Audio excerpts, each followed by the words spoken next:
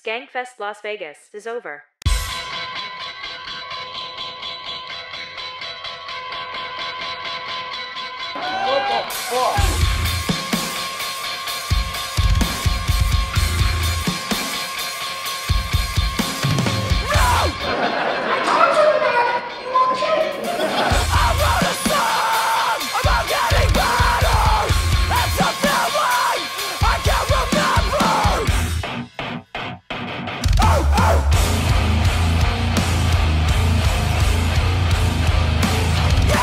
Rusty, blood-soaked bayonet of a dick. Don't applaud me, I'm not special needs. Your dad's like, what the fuck?